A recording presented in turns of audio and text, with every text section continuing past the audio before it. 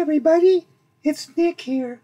I just wanted to share with you that one week ago today, the 13th of March 2023, the Sun ejected what's called a CME, coronal mass ejection.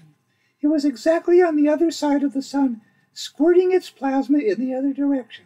However, if it had been pointing toward us, the energy would have been so strong that it could have destroyed our electrical grids and thrown us back into the Dark Ages. Just saying.